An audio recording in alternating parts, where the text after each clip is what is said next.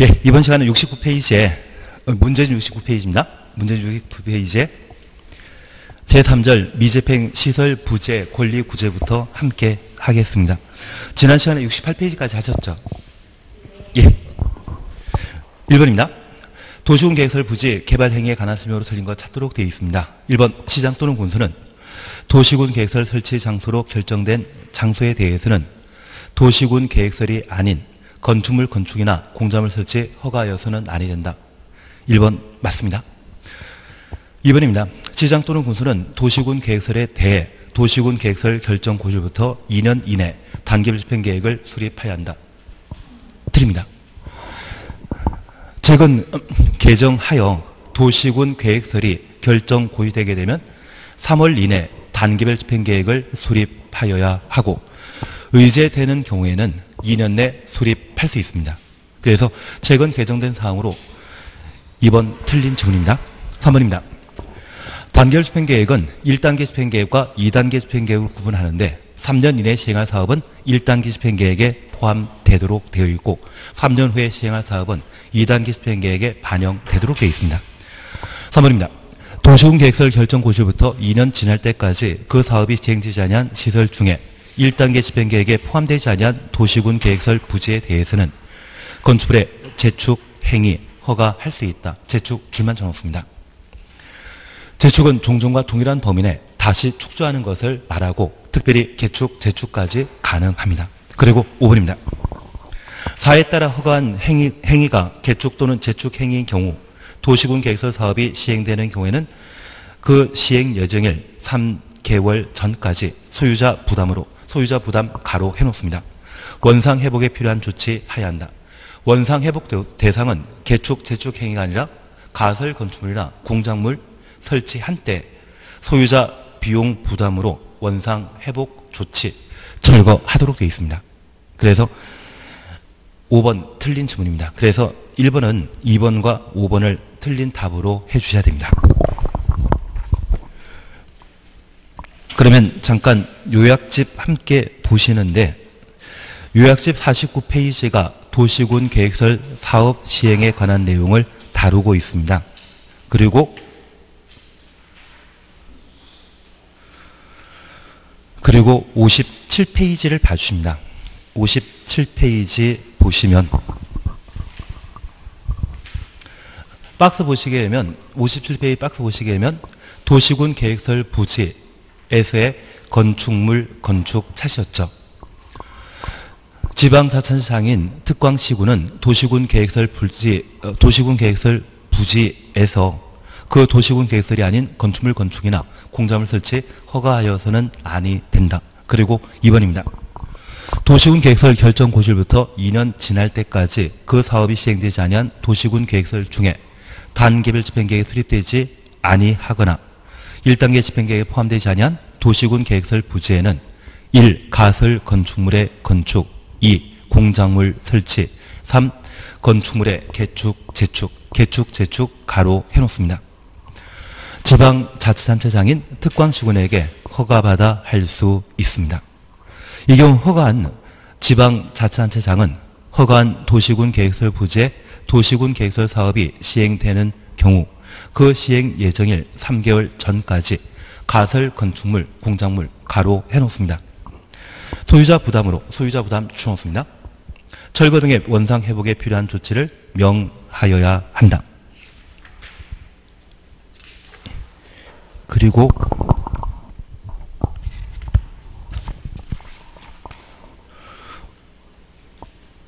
우리 뒤에 보시면 103, 아, 313페이지 봐주십시오. 313페이지 보십니다.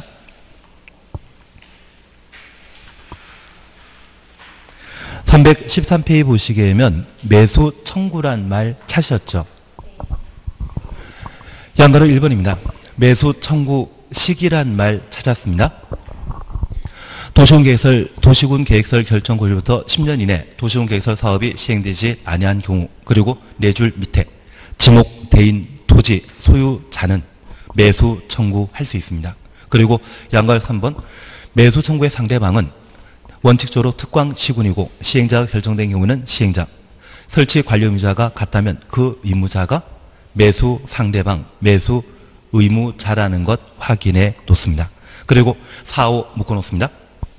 매수 의무자는 매수 청구한 날부터 6개월 내 매수 여부 결정하여 토지 소유자에게 알려야 하고 5번 매수 결정 알린 날부터 2년 이내 매수하여야 합니다. 그리고 6번을 미리 보십니다. 20년간 사업 시행하지 않으면 20년 되는 다음 날 효력 상실한다. 그리고 7번입니다. 매수 대금 지급 방법으로 원칙 현금 지급하도록 되어 있고 2번 예외 도시군 계획설 채권을 발행할 수 있습니다. 한 줄 밑에 토지 소유자가 원하거나 부재 부동산 소유자 토지이거나 비업무용 토지로서 매수 대금이 3천만 원 초과하게 되면 초과하는 금액을 채권 발행할 수 있습니다. 그리고 314페이지 두 번째 아, 위에서 두 번째 줄 보시게 되면 상환 기간은 10년 이내로 한다. 그리고 양가로 8번입니다. 매수 청구된 토지의 매수 가격은 공익사업을 위한 토지 등의 취득 및 보상에 관한 법률에 따르도록 되어 있으며 9번입니다. 매수 거부하거나 매수 지연 시의 조치로서 매수 청구한 토지 소유자는 허가 받아 3층 이하의 단독대과 3층 이하의 1종, 2종 근린 생활시설을 설치할 수 있습니다. 거기까지 보시면서 우리 지난주에 시설 사업과 관련된 절차 어느 정도 기억나십니까? 도시군 개설 사업은 몇 단계로 이루어집니까? 모르면 그냥 3단계입니다.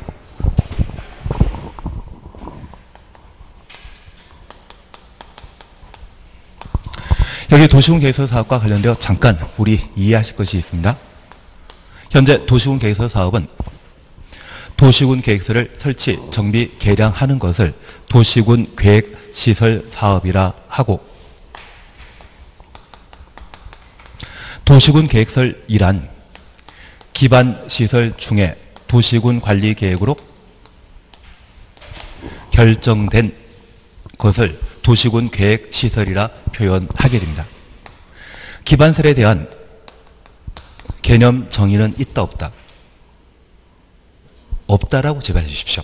그래서 나중 우리가 실제 시험 볼 때 기반설은 무엇이다 이런 개념 정의로 설명하는 소설이 있다고 하면 그 점은 무조건 틀립니다. 기반설에 대해서는 인프라에 관한 개념이 있지만 그걸 딱히 국토계획법에서 용어 정의하는 것 없습니다. 현재 용어 정의는 도시군 계획서 사업이란 도시군 계획서를 설치, 정비, 개량하는 것을 말한다. 도시군 계획설이란 기반설 중에 도시군 관리 계획으로 결정된 것을 말한다. 그런 개념 정의 있지만 기반설에 대한 개념 정의는 없습니다. 그래서 시험 지문에 기반 시설은 무엇이다 이 말 나오면 맞는 지문이다 틀린 지문이다 틀린 지문이라고 해주셔야 됩니다. 다만 이 기반설과 관련되어 우리가 함께 보신 것은 운삼 기칠이란 말로 대신 한 적이 있습니다. 운자로 시작하는 세 가지 운하, 운동장, 운전학원은 최근 법을 개정하여 기반설 범위에서 삭제시켰고 현재 50여 개 기반설은 7가지 시설군으로 각각 구분하고 있는데 환경 기초시설이 7번째였습니다. 하수, 폐폐, 제비 6가지가 환경 기초시설에 해당된다는 것 기억하시고 죽음과 관계된 것이라고 하면 보건 위생시설로 달리 표현하게 됩니다. 그리고 도로에 대해서는 일반도로, 지하도로, 고가도로, 보행자 전용도로, 자전거 전용도로, 보행자 우선도로, 자동차 전용도로 일곱 가지로 구분하고 있는데 고속도로는 없습니다. 우리가 일곱 가지 기억할 필요 없죠. 정답만 기억하면 됩니다. 고속도로는 도로 세분 종류에는 아예 없다라는 것 잡아내십니다. 그리고 이런 기반설 중에 공동구에 관한 내용을 우리가 함께 공부하신 적이 있습니다. 이 공동구는 최근 3년 연속 시험에 냈습니다. 세번 연속 시험에 냈으면 네번 연속 출제도 가능할 겁니다. 그래서 이 공동구와 관련되어서는 공동구 설치할 대상은 200만 점에서 초과하는 도시개발사업, 택지개발사업, 정비사업 하는 때는 공동구를 수용하여야 하고 이 공동구는 전기, 통신, 가스 등의 지하 매설물을 공동으로 수용하기 위한 지하 기반설을 공동구라 표현하게 됩니다. 이런 공동구의 설치 그리고 수용 관리에 관한 사항들을 각각 공부하셨는데 설치 비용은 사업 시행자와 전용 예정자가 함께 비용 부담하는 반면 관리비는 관리 비용은 공동구 점용하는 자가 함께 비용 부담하도록 되어 있습니다.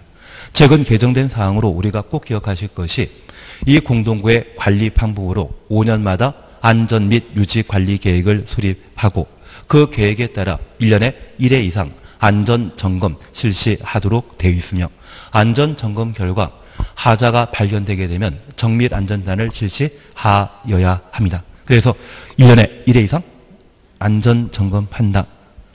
그건 기억하고 계셔야 됩니다. 만약 시험에 나오게 된다고 하면 안전 점검 때문에 시험에 나오게 될 겁니다.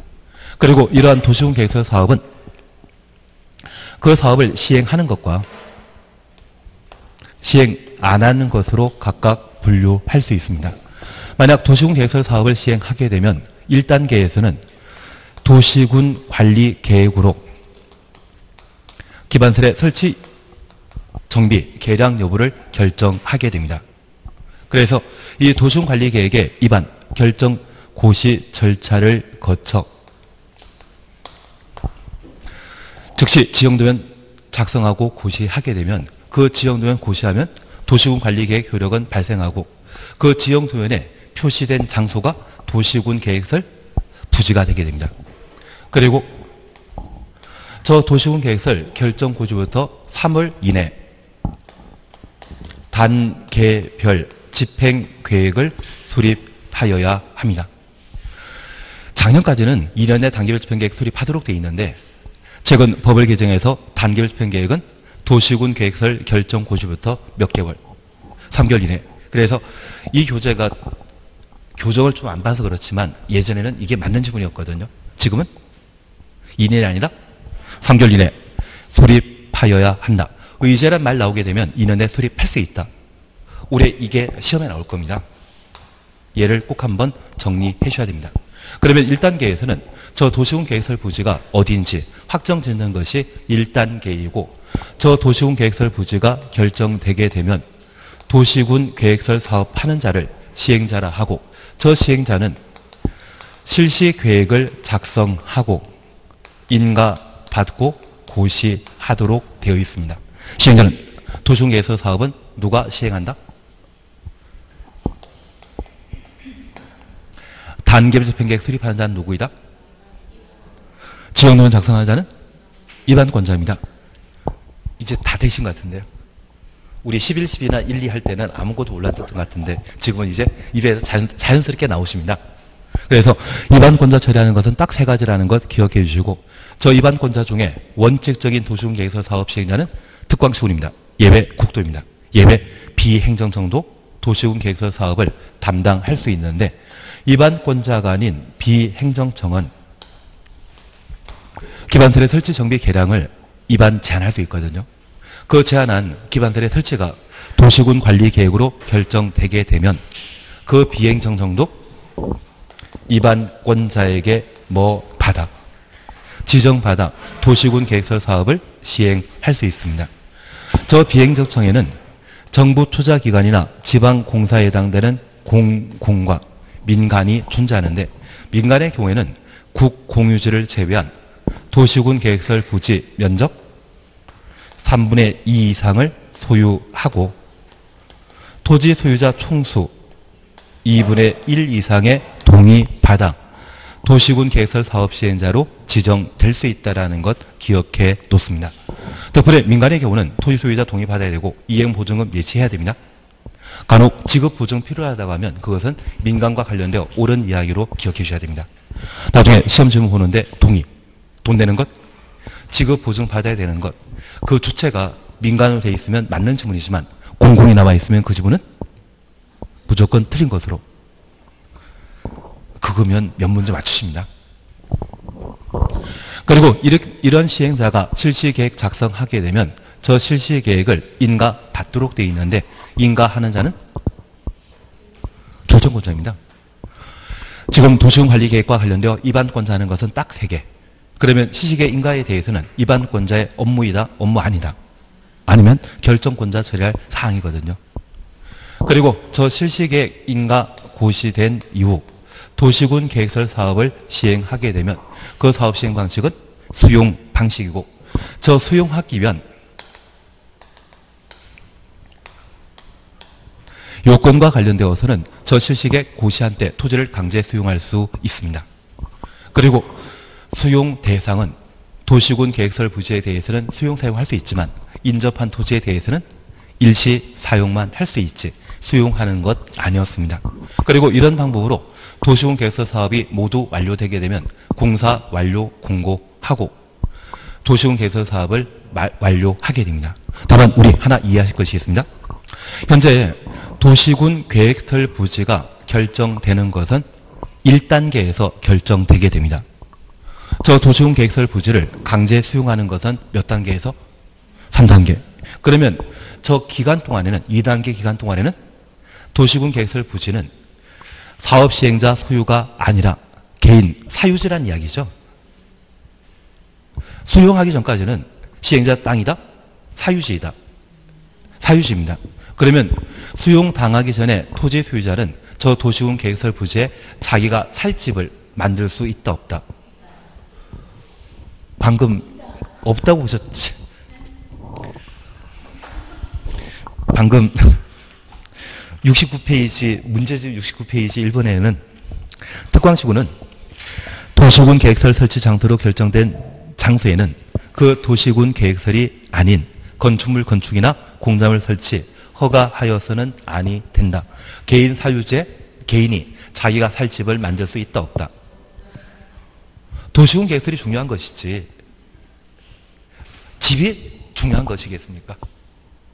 이엔 대시 예. 예, 그러면 우리 잠깐 이해하실 것이 있습니다. 도시군 계획설 설치한 장소를 뭐란다? 도시군 계획 시설 부지라 합니다. 이 도시군 계획설 부지는 도시군 계획설이 결정 고시되게 되면 부지가 확정되게 되는데 이 도시군 계획설 부지에는 도시군 계획 시설을 제외한 건축물, 공작물, 건축하거나 설치할 수 없습니다. 그러면 우리가 다시 하나 이해하실 것이 있습니다. 저 부지는 분명 1단계에 결정되었는데 3단계 수용하기 전까지는 수용하기 전까지는 아무리 개인 사유지랄지라도 함부로 건축할 수 없다는 이야기입니다. 그리고 이 도시군 계획설 부지로 결정 고시되었는데 2년 동안 도시군 계획설 사업을 시행하지 않는 경우가 있습니다. 저 2년간 도시군 계획설 사업 시행하지 않는데 해당 도시군 계획설 부지에 대한 단계별 집행계획이 수립되지 않거나 1단계 집행계획에 포함되지 않았다면 단계별 집행계획은 수립되었지만 2단계 집행계획에 포함되어 있다는 이야기거든요. 단계별 집행계획을 수립하지 않았다면 최근 3년 안에는 사업한다 안 한다. 2년, 2년 동안 사업하지 않았고 2단계 집행계획에 포함되었다면 또는 단계별 집행계획이 아예 수립되지 않았다고 하면 3년 이내 시행할 예정입니까? 아닙니까? 아닙니다. 그러면 앞으로 최소 3년 동안은 해당 도시군 계획설 부지에 대해서는 시설 사업 안 한다는 이야기거든요. 그러면 5년 동안 사유 재산권을 사유 재산권 행사를 제한하는 것은 좀 지나친 제한이죠. 그래서 이런 도시군 계획설 부지에는 기존 건축물에 대한 개축, 재축할 수 있는데 이 개축과 재축이 이루어지게 된다면 건물 크기는 커진 것입니까? 예전과 똑같습니까? 똑같습니다. 만약 커지게 된다고 하면 그때는 도시군 계획설 사업 시행자가 실제 시설 사업 시행하게 되었을 때 보상금을 더 많이 줘야 되지 않겠습니까? 보상금 더 이상 줄 필요 없는 개축행위와 재축행위에 대해서는 허용하겠다는 이야기입니다. 그리고 가설 건축물과 공작물을 특광시군에게 허가받아 만들 수 있는데 얘는 원래 도시군 계획설 부지에 있던 거다 없던 거다. 위의 것은 원래 있던 거다 없던 거다. 있던 것입니다. 그러면 원래 있던 건물에 대해서는 나중에 도시군 개설 사업 시행자가 사업하게 되었을 때 충분한 보상하고 철거해버리는 거거든요. 애초에 예정되어 있는 것이죠. 반면 얘는 원래 있다 없다. 없습니다. 그래서 원래 없던 것에 대해서는 가설 건축물을 건축한 소유자가 비용 부담하여 철거할 필요가 있습니다. 그래서 특광시군은 도시군 개설 사업 시행 예정일 3개월 전까지 이 두 가지를 소유자 비용 부담으로 원상 회복하라는 명령을 내리게 됩니다. 대신 기존 건축물에 대해서는 원상 회복 명령 대상 이단이다. 아닙니다. 그것은 시행자가 도시군 개설 사업 시행할 때 철거할 사안입니다. 대신 얘는 요즘 시험에 안 나옵니다. 얘가 시험에 나오면 10년 전 패턴입니다. 아니 15년 전에 나왔는데 요즘 안 나옵니다. 이걸 알고 낼 거 많거든요. 뭐가 나옵니까? 10년간 시행하지 않았을 때, 20년간 사업 시행하지 않았을 때, 특히 20년간 사업 시행하지 않으면 20년 되는 다음 날 뭐 한다? 효력 상실되는 것 기억나지? 방금 오셨는데. 저 더 볼 수 있는데요. 314페이지 있던데요. 이게 같이 연속했으면 좋은데, 아, 314페이지가 아니라 313페이지. 313페이지 보시면 양가로 6번에 시료 찾으셨죠? 도시군 계획설 결정 고실부터 20년 전까지 도시군 계획설 설치에 관한 사업 시행이 이루어지지 아니하면 20년 되는 다음 날 효력 상실한다. 나는 받던 기억 있다 없다. 받던 기억 있다 없다. 저 이거 무진장 많이 했거든요. 지난주에 했거든요. 그리고 매년 시험에 나오는 것이 10년과 관련된 매수 청구 제도가 되게 됩니다. 그래서 현재 도시군 계획설 부지에 도시군 계획설 사업이 시행되는 것과 시행되지 않는 것 두 가지 있습니다. 시행되지 않았을 때 부지에 대해서는 도시군 계획설 제외한 일반 건축물은 함부로 건축할 수 없다. 10년간 사업 시행하지 아니하면 일정한 요건을 갖추었을 때 뭐 할 수 있다? 매수 청구할 수 있다. 20년간 사업 시행하지 않으면 20년 되는 다음날 효력 상실한다. 예, 매년 시험에 나오거든요. 올해 시험 나온다, 안 나온다? 전 나온다에 걸도록 하겠습니다. X만 적어서 저한테 알려주시면 제가 받도록 하겠습니다. 올해 나옵니다. 예, 그래서 여기 매수 청구와 관련된 내용을 잠깐 확인하시면 우리가 민법을 공부하다 보니 이 매수 청구권은 매수 청구하는 자와 상대방이 있어야 되지 않겠습니까? 그래서 매수 청구할 수 있는 자는 10년간 도시군 계획설 사업이 시행되지 아니한 지목 대인 토지 소유자가 매수 청구할 수 있고 매수 상대방은 우리 세종시에 도로 학교 만들 자는 누구이다? 세종시장. 천안시에 학교 만들 자는 천안시장. 공주시에 학교 만들 자가 있다면 공주시장. 도시군 개설 사업은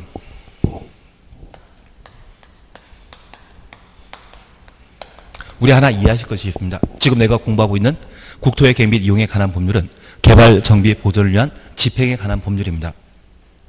그 개발 정비 보존은 국가 단위로 이루어진다? 지방 단위로 이루어진다.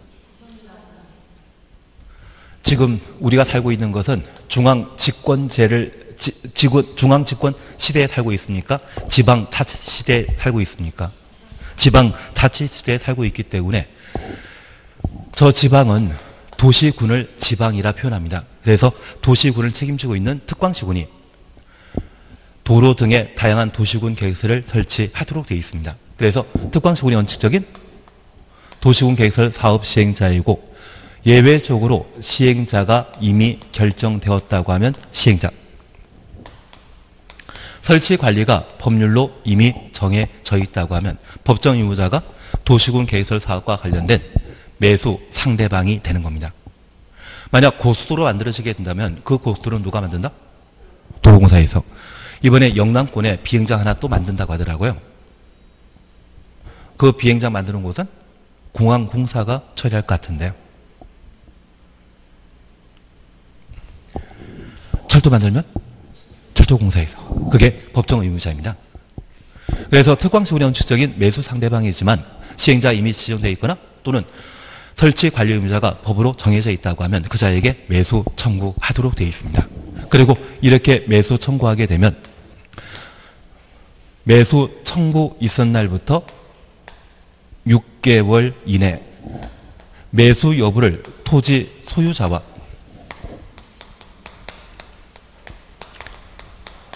누구에게 알려줘야 된다?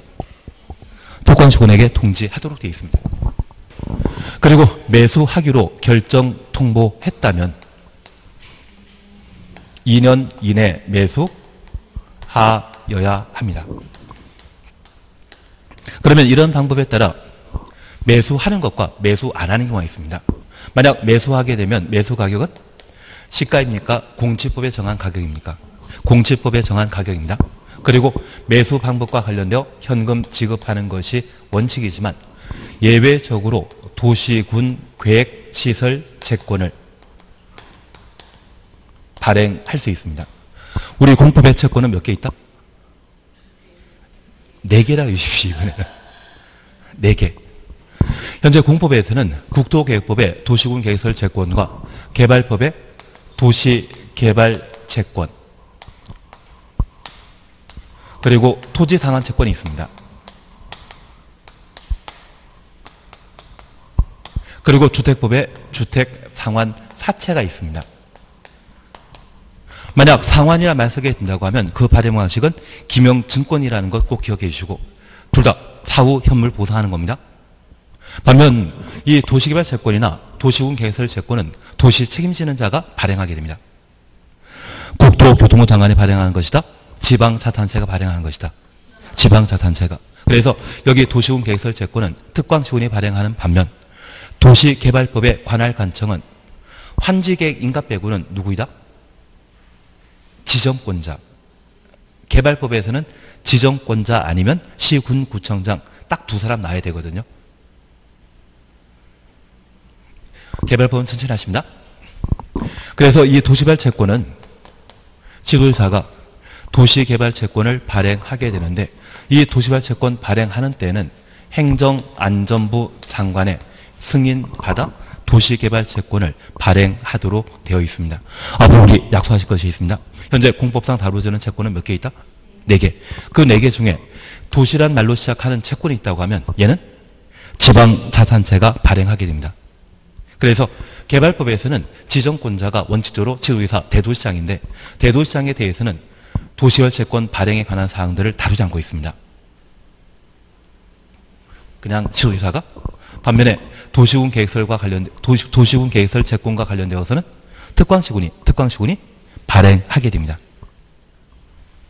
그리고 이 도시군 계획설 채권을 발행함에 있어서 지방 자탄체가 매수 의무자일 때 채권 발행할 수 있고 토지 소유자가 원한다고 하면 전액 채권 발행할 수 있지만 비업무용 토지 부재 부동산 소유 토지인 경우에는 3천만 원까지는 현금 지급하고 초과하는 부분에 대해서만 채권 발행하도록 되어 있습니다. 그래서 우리 만약 땅에 땅에 투자하는 분이 계시다고 하면 투자하는 분들은 보통 40대 20입니다. 만약 20대 땅을 가지고 있다고 하면 꼭 저한테 알려주십시오. 제가 앞으로 잘하겠습니다. 뭐 가방도 잘 들고 다니고 뭐 필요한 거 있으면 잘 해드리도록 하겠습니다. 보통 땅에 투자하는 것이 있다고 하면 40대 투자하게 될 것이고 그 40대 투자했는데 그 땅이 지목되었습니다. 그 다음날 도시군 계획설 부지로 결정 고시되었다고 하면 10년간 사업 시행하지 않으면 그제서야 뭐 한다? 매수 청구할 수 있습니다. 그리고 50대 되어서 매수 청구의 요건을 갖췄는데 매수 청구안이 세대 처리 기간이 2년 6개월입니다. 이제 60 바라볼 나이가 됐죠. 그러면 뭐 해야 되겠습니까? 3천만 원 가지고 환갑잔치 치러야 되지 않겠습니까?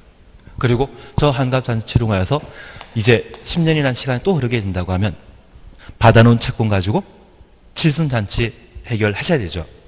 그래서 도시군 계획설 채권과 관련된 상황 기간 몇 년이다? 10년. 다 반, 받, 방금 받던 건데. 다 방금 받던 겁니다. 그래서 우리 도시군 계획설 채권과 관련되어서는 이렇게 한번 구분해 주시는 게 필요합니다. 그리고 만약 도시군 계획설 부지에 매수 청구했는데 불구하고 매수 안 해주면 그 도시군 계획설 부지에는 3층 이하의 단독주택과 3층 이하의 1종, 2종 근린 생활시설 그리고 공작물이라는 것을 만들 수 있습니다. 하나 질문이 있습니다. 우리 지금까지 공부하시면서 제2종 근린 생활시설은 전용 주거 지역에는 건축할 수 있다 없다. 예, 없다고 해주셔야 됩니다. 이종 걸린 사설은 가장 대표적인 것이 술집으로서 그 일반 음식점 같은 경우는 전용 주거지는 건축할 수 없습니다. 그런데 이번에 매수 청구한 매수 청구한 지목된 토지 소유자 토지가 전용 주거 지역에 해당하고 저 매수 청구 했는데 거절 당했을 때 전용 주거 지역인 이곳에는 제2종 근린 생활시설 특광 지원에 허가받아 건축할 수 있다? 맞습니다. 얘는 용도 지역과 관계없습니다. 만약 상업지역이었다면 상업지역이었다고 하면 저 상업지역에 지목대인 토지 소유자가 10년간 사업 시행하지 않아 매수 청구했는데 매수 청구 거절당했습니다. 그러면 이 상업지역이었다고 하면 3층 이하의 단독택, 3층 이하의 1종, 2종 근린 생활시설 외 상업지역에는 뭐 만들 수 있다? 유락설. 유락설 특광치원에 허가받아 만들 수 있다? 없습니다. 하나 이해하실 것이 있습니다. 여기 3층 이하의 단독택을 특광치원에 허가받아 만들게 된다고 하면 아직 20년 안 됐죠. 도시군 계획설 부지로 결정되고 20년 아직 안 되지 않았습니까? 그러면 15년 차 또는 16년 차에 도시군 계획설 만들겠다고 할 수 있죠. 저 3층의 단독택 등에 대해서는 충분히 보상하고 새로운 도시군 계획서를 만들 수 있는데 이곳에 엉뚱한 위락설이나 엄청난 이상한 건물이 만들어지게 된다면 사업 시행자가 그 보상 비용 감당하고 만들 수 없습니다. 그래서 방금 보셨던 3층 이하의 단독택이나 3층 이하의 1종, 2종 근린 생활설은 용도 지역의 특성을 싹 무시하고 얘만 가능하다라는 것을 이해해 주셔야 됩니다. 이해 안 되시면 나중에 남아서 같이 고생해 보시는 겁니다. 이걸 이해하셔야 됩니다.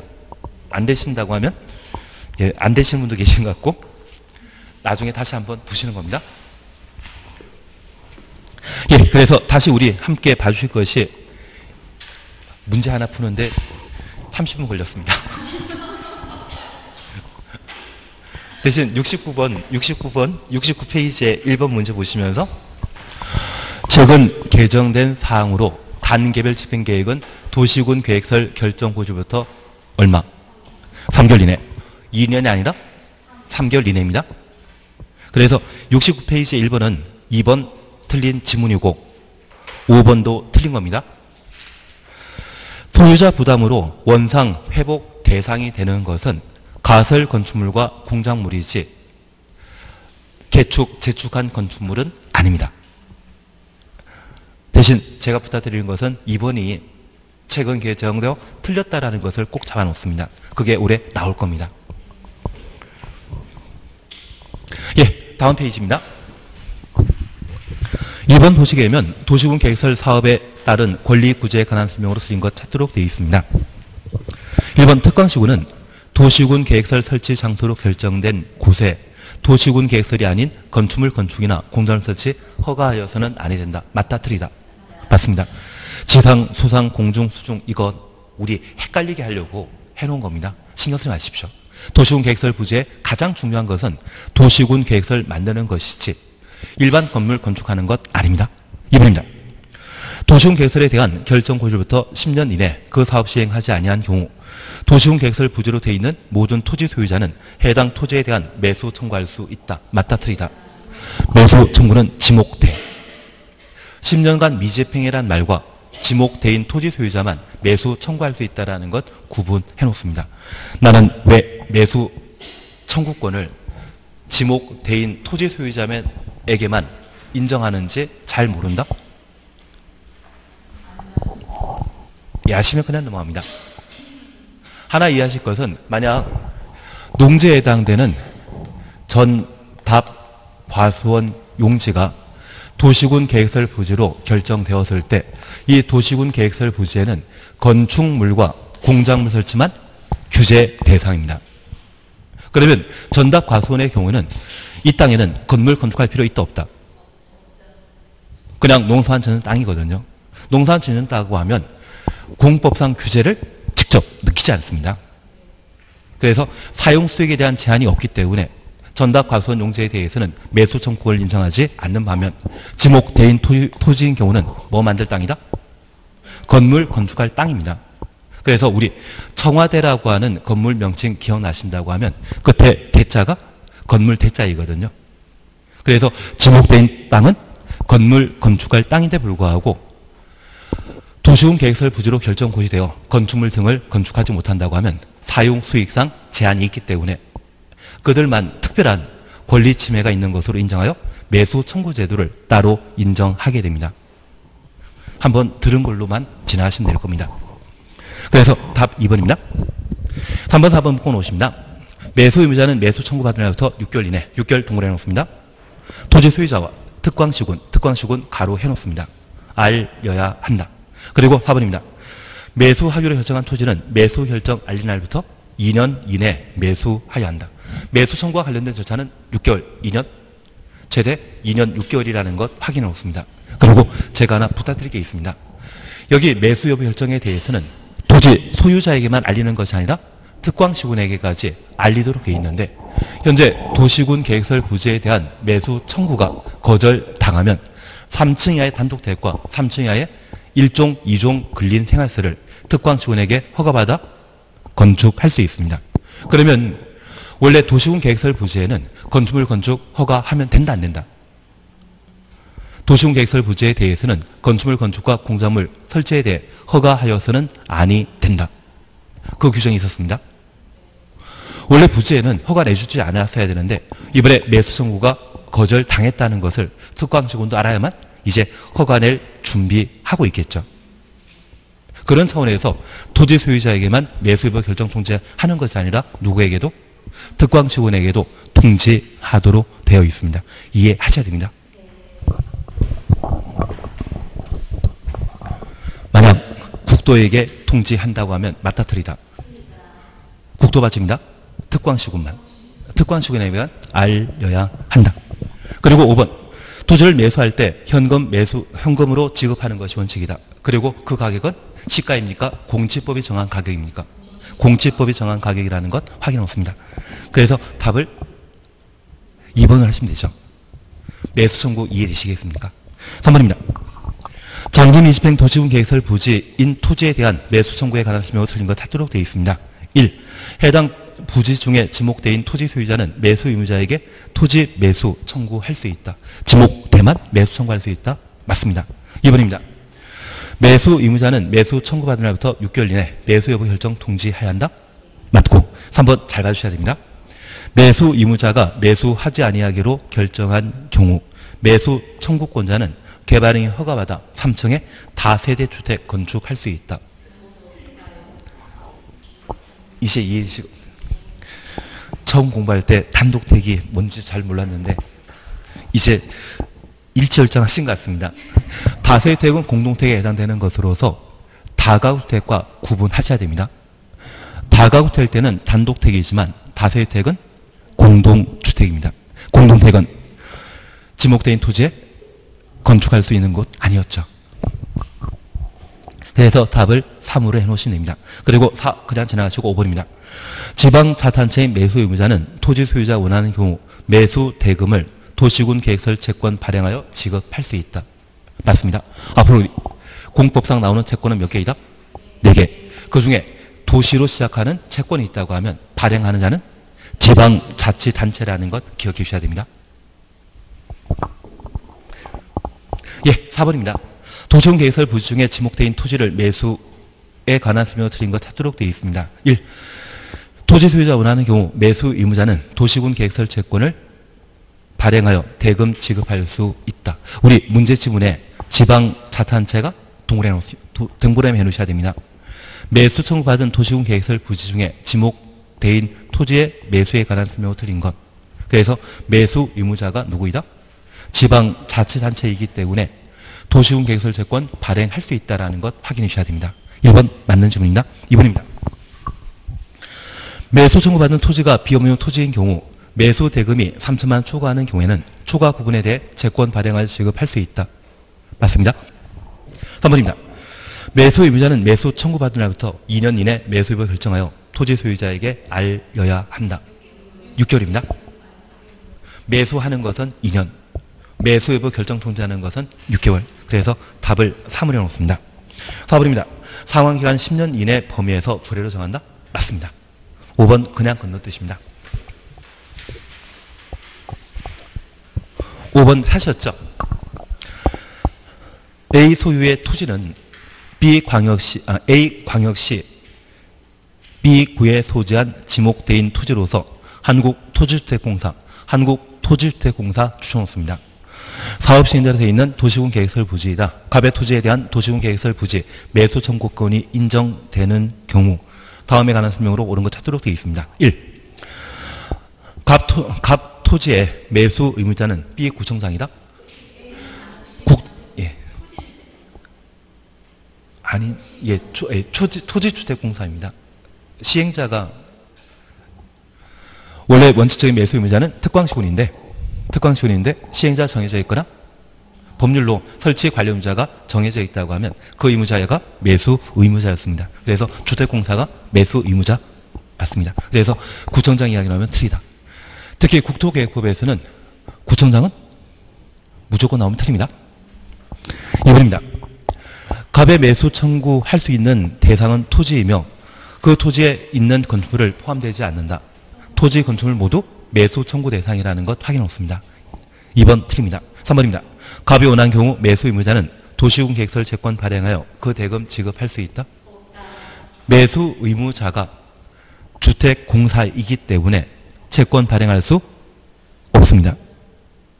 채권은 누구만? 지방자치단체인 경우에만 발행할 수 있다는 것 기억해 놓습니다. 문제 지문에 한국토지주택공사가 사업 시행자라 되어 있지 않습니까? 그런 부분을 고려해 주셔야 됩니다. 그리고 3, 4번입니다. 매수 의무자는 매수 청구받은 날부터 6개월 이내 매수 여부 결정하여 갑과 A 광역시장에게 알려야 된다. 갑은 토지 소유자이고 특광시군에게 매수 여부 결정 통지해야 되지 않습니까? 그래서 구청장이 알리는 것이 아니라 광역시장에게 알리도록 되어 있습니다. 그리고 5번입니다. 매수 청구에 의해 매수 의무자가 매수하지 아니하려 결정된 경우 갑은 자신의 토지의 2층에 다세택 건축할 수 있다. 다세택은 공동택에 해당되기 때문에 매수 청구가 거절되었을 때 건축할 수 없습니다. 그래서 답을 4번으로 해놓습니다. 근데 이런 문제가 우리 시험에 툭툭 튀어나옵니다. 그래서 케이스 문제에 관한 사항들을 몇 번 직접 해결해 보시는 게 필요합니다. 얘는 꼭 한번 더 보셔야 됩니다. 72페이지 6번 함께 보십니다. 도시군 계획설에 관한 설명을 옳은 것 찾도록 되어 있습니다. 1번입니다. 도시 지역에서 장례시설, 종합의료시설, 폐차장 가로 해놓습니다. 장례시설부터 폐차장까지 가로 해놓습니다. 기반설 설치하고자 하는 경우 미리 도시군 관리 계획으로 결정해야 한다.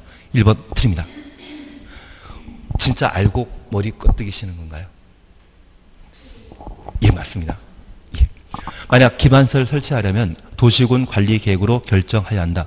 이렇게만 하면 맞습니다. 근데 가로 속에 있는 가로 속에 있는 기반설의 구체적인 대상, 장례시설, 종합의료시설, 폐차장 이 말 나오고 얘를 설치하고자 하는데 도시군 관리 계획으로 결정해야 한다. 이 말 나오면 틀린 패턴입니다. 이쪽은 패턴으로 공부해 주셔야 됩니다. 그래서 기반설을 설치하고자 하는 때 도시군 관리 계획으로 결정해야 한다. 이 말은 맞지만 기반설의 구체적인 대상이 제시되게 되면 그때는 틀린 주문으로 잡아내셔야 됩니다. 그러면 우리가 함께 공부하시면서 종합의료시설은 종합병원이라는 걸 알고 있습니다.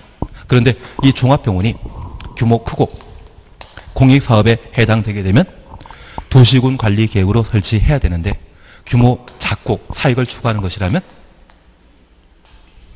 도시관리계획 결정 대상 아니겠죠. 그래서 우리 세종시에 충남대 부속 병원이 만들어지게 되면 걔는 도시군 계획설에 해당될 것 같습니다. 대신 우리 세종시에 삼성의료원 같은 게 만들어지게 되면 걔는 사익 추구하는 병원이거든요. 걔는 도시군 관리 계획 결정한다 안 한다? 아닙니다. 그래서 지금처럼 장례 시설, 종합 의료 시설 이런 것이 구체적으로 제시되고 도시군 관리 계획으로 결정해야 한다. 이 말 나오면 틀린 패턴입니다. 대신 방금 가로하셨던 장례시설, 폐차장까지 가로해 놓으시고 얘 빼버리고 기반시설 설치하고자 하는 경우 미리 도시군 관리 계획으로 결정해야 한다. 이 말이라면 맞는 질문입니다. 이해해 주셔야 됩니다. 얘는 패턴으로 기억해 주셔야 됩니다. 2번입니다. 도시군 계획설 결정 시부터 10년 이내 도시군 계획설 사업에 관한 실시 계획 인가만 있고 실시 계획 인가 가로 해놓습니다. 사업이 시행되지 아니한 경우 그 시설 부재 매수 청구권이 인정된다. 실시 계획 인가 받게 되면 한 달 안에 수용 당합니다. 지금 매수 청구는 우리가 알고 있는 매도 매수 의미가 아니라 수용해달라 청구하는 것입니다. 한 달 안에 수용당하는 게 낫겠습니까? 2년 6개월 걸리는 게 낫겠습니까? 한 달 내 수용당하는 게 더 좋을 것 같습니다. 그래서 실시계 인가란 말이 있으면 매수 청구 대상이 못 된다라는 것 확인 없습니다. 3번입니다. 지방의회로부터 장기 미집행 시설의 해제 공고받은 시장 군수는 도의사가 결정한 도시군 관리 계획 해제를 도시군 관리 계획으로 결정할 수 있다. 시장 군수는 자신의 권한을 넘은 월권 행위를 하는 겁니다. 그래서 도의사가 결정한 도의사가 결정한 도시군 개설에 대해서는 시장 군수가 해제 결정할 수 없습니다. 그래서 3은 틀린 질문으로 대신 이 3번에 관한 사항은 기억하지 마십시오. 얘는 23회, 24회 때 나왔던 것으로 더 이상 안 나올 겁니다. 얘는 신경 쓰는 아닙니다. 그리고 4번입니다.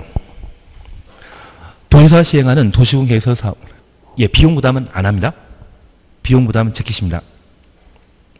그리고 5번 안 하십니다. 4번, 5번은 지키는 겁니다. 4번이 맞긴 맞는데 비용 부담 할 필요 없습니다. 하면 더 헷갈립니다. 헷갈릴 것은 아예 안 하는 게 마음 편합니다. 예, 그리고 7번만 보고 7번만 보고 쉬었다 하실 겁니다. 도시군 계획설 부지 해제 신청입니다. 다른 거 필요 없습니다. 2번 차셨죠. 위반권자는 이에 따른 신청받은 날부터 3개월 이내 3개월 동원해 놓습니다. 위반 여부 결정하여 토지 소유자에게 알려야 한다. 여기 3개월 맞을 것 같은데요. 그리고 4번 보십니다. 결정보자는 3에 따라 신청받은 날부터 6개월 이내 결정 여부 예, 이건 2개월. 근데 6개월 아니, 아닙니다. 우리가 10년간 장기 미집행 도시군 계획설에 대해서는 토지 소유자가 해제해달라가 입안 신청할 수 있고 입안 시에는 기조사, 주민의견 청취, 집안 의회 의견 청취 3단계 절차 거치기 때문에 3개월 내 해제 여부 결정하여 통지하도록 되어 있으며 결정 신청했다고 하면 2개월 협의, 심의에 관한 2단계 절차 거치기 때문에 2개월 이내 해제 결정 여부를 토지 소유자에게 통지하도록 되어 있습니다. 올해 주실 것은 3개월, 2개월만 기억해 주시는 겁니다. 그리고 마지막 5번만 잠깐 봐주십시오. 해제 결정 신청한 토지 소유자는 결정권자가 해제하지 아니하기로 결정하여 신청자에게 통지한 경우 국토교통부 장관에게 해제 심사 신청할 수 있다. 국토교통부 장관 추천 오시고 해제 심사 해제 심사 추천 없습니다. 올해 그것만 해주시면 됩니다. 그래서 3개월, 2개월이라는 기간만 잘 구분해 주십시오. 쉬었다 하십니다.